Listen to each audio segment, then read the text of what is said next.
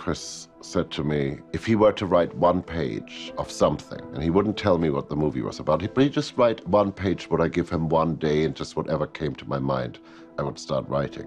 What I wrote for Hans to get him started was some dialogue that, that I'd written for the film mixed with some ideas behind the film.